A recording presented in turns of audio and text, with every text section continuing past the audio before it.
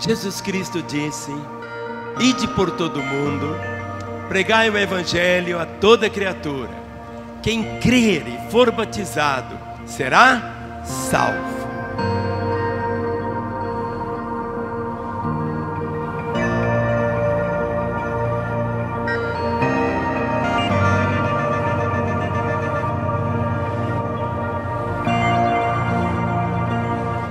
O maior patrimônio que alguém pode possuir aqui na terra é a certeza da sua salvação.